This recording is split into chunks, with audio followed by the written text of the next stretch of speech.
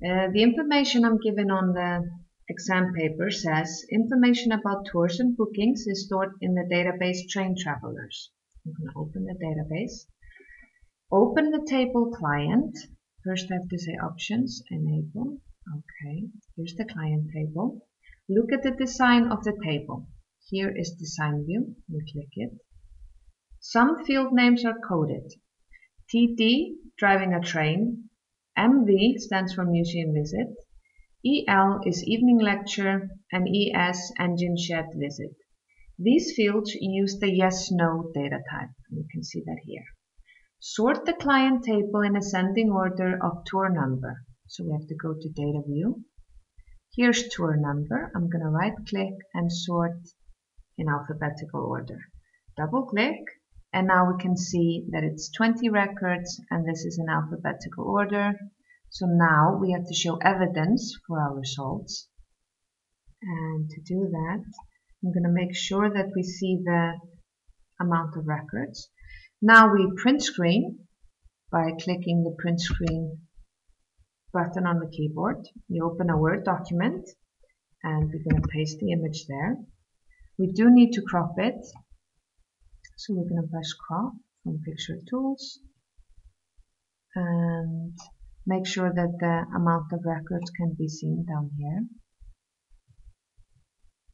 This should be good. And now always drag from the corners and this shows perfectly the table and that it's sorted. You Might have opened, it would be better to open this um, this field a little bit more so we can see the whole field name. And this is the first task and it gave two marks and uh, you have to make sure in the Word document that you insert your candidate number and your center number and everything that they ask for. Now the next, next task for the database is the management of train travelers needs a list of children who are booked for tours. Use your database software to run a search on the client table to find all children.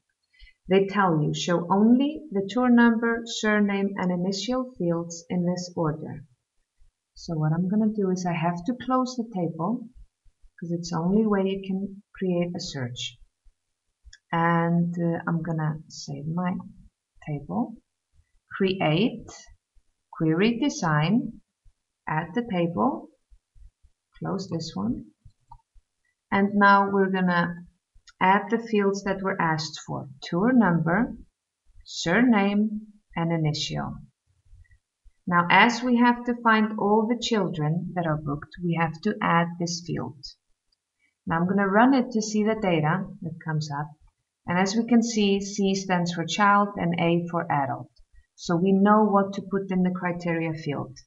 Here's the criteria field, and I place a C there, which means that only the children will come up, and they're 11. Okay, we're going to increase the size. Now, it did tell us to only show these three fields. So I'm going to have to hide the adult child field or column. So go to the design view and I'm going to take the tick from show adult child. And now I get the exact same amount of records, only the adult child field is hidden. Now we can print screen the table as we're going to have to show evidence for our results. So I press the print screen button on the keyboard, open the Word document, Control V to paste the information, click on picture tools and I'm going to crop the image and as always always show the record amount if not you won't get the marks the full marks. And for this task you could get three marks. And this is exactly how it should look like. Now when you save a query you have to make sure that you name it QRY and the name would be child in this case or children. And you can see QRY child this is the right naming convention but they were only asking for the query result so we don't have to worry about that now the next task says you need a list of clients who are booked for the evening lecture or the engine shed visit Use your database software to run a search on the client table to find this information. Sort the results in ascending order of tour number with a secondary sort on surname. Display your results showing all fields except adult child. Now I'm going to close this query and now I'm going to create a new one. Create, query design, add the table, close this one.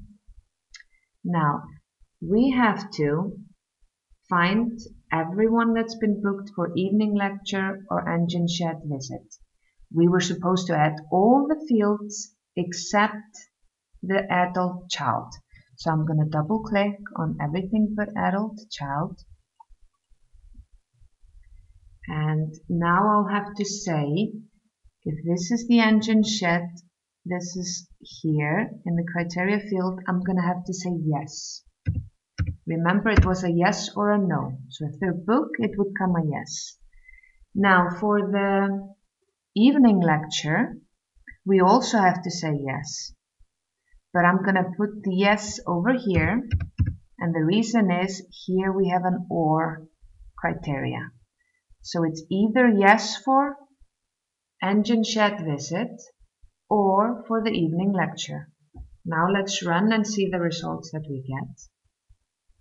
And you can see that the first person, he's booked for both. The next one is booked for both. The third one is booked only for the evening lecture and not for the engine shed visit. But as you can see, these should be the right results.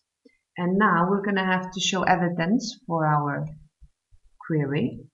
And to do that, maybe I'll minimize it like this. It's better to crop it later. And you can see the 18 records that were found. And we're not displaying the field adult child. Now here it's necessary to open up the fields so we can see all the field names. Okay, so now I'm going to print screen. I press the print screen button on the keyboard.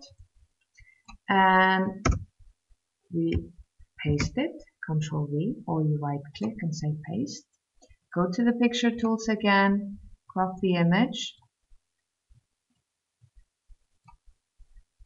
and this should be good enough. We click and drag from the corner, and this is perfect. And as I said before, you can name the query, and this could be called engine shed or EL and ES but remember the QRY in front of the name. Okay, and for this task you could get four marks. And now for the next task, uh, it says a new table is needed to store information about hotels in England used by train travelers. So we have to look at a file and they give us a data file. It's called hotels. And this is this tells us how we should name the fields in the access table. So we're going to have to create a table with these field names so it can contain this data. And then we have to say what data type, what field size, uh, also justify two choices of data type types, indicate the table which field will be the key field, and that's a primary key and justify the choice of the primary key field. So let's start creating the table. We open Access. Now to create a new table, let's just close this query. Yes, I was going to save it. Q R Y and it would be an evening lecture or shed visit. So this is fine. Okay. Now to create a new table, we go to Create we select here table and we have to go to the design view. The table is going to be named hotel, so it's TBL hotels. Okay. And then we have the structure of the table. Now the first field they give us is hotel name. And that was text. So the data type is text. The next one is code also a text field. It had one letter and a few numbers. The town also should be text field. Telephone, also text because it had spaces in it. We call it alphanumeric. and then it has the email field and also text because of the at symbol. And uh, also we always use the data type text for text and numbers. And if it's only numbers, we can have it the number field. If it's date and time, we use date and time. If it's to do with money calculation, we do currency. An auto number is sometimes used when you want to create a, a primary key field. Yes and no, like we have seen used before. And then I'll show you later on how to use the lookup wizard. Now, all of these fields are text fields.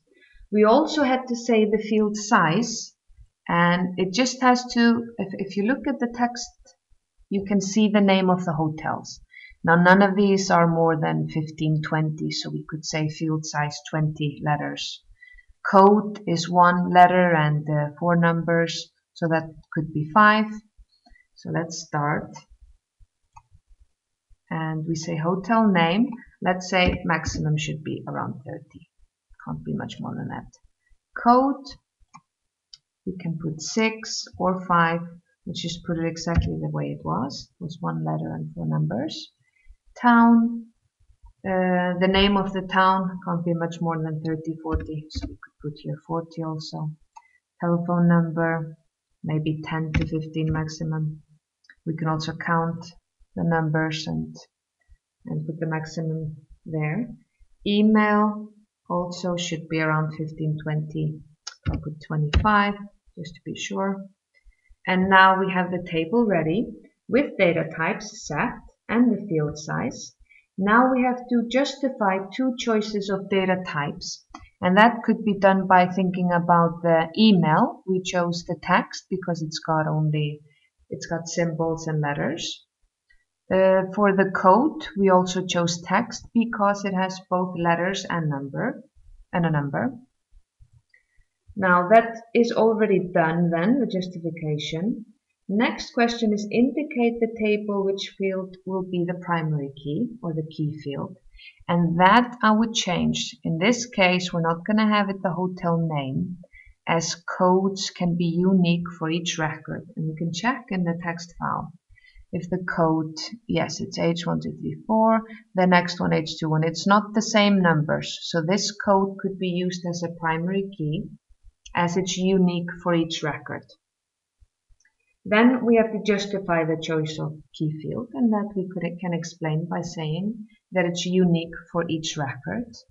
And if we have the Word document open, we will have to show the structure of our table. So we press print screen.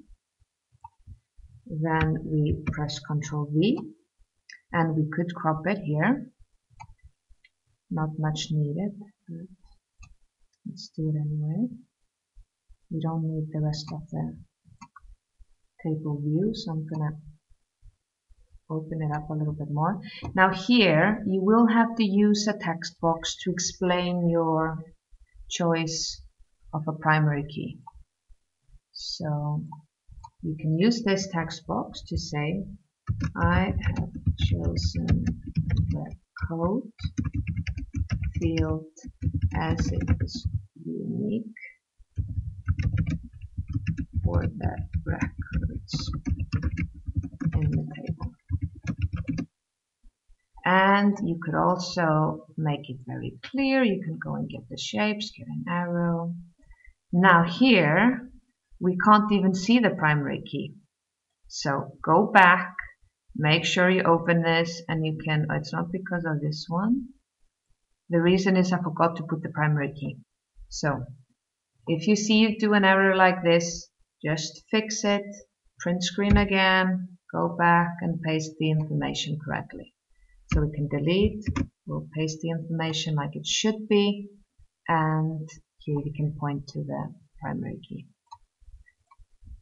Okay, the next question is Open the database train travelers and create the table. We've done that already. Yes, uh, the last question is, train travelers gives a rating from 1 to 5 to each hotel. A new field is required with this structure. And they show us the structure. Now we have to create a field and we know it's called rating. And it's a numeric field. But what they want you to do now is to create a drop-down box. Uh, it says here, make sure you can see the creation of the drop-down selection list. So what I'm going to do straight away is use the lookup wizard. And I'm going to say, I will type in the values that I want. Next. Here you type in the values and they have it on the paper. It says it's 1 up until 5. So 4, 5. Next. It's called rating. Finish and you have to show that it's a drop-down list.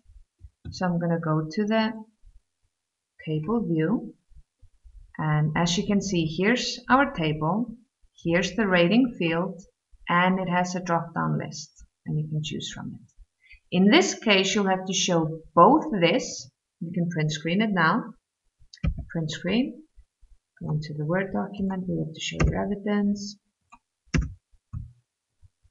and paste it. Now this is perfect to show the drop down box. But you also have to show your results for design view. So we open the access table. We're going to go to the design view and here we have the rating selected.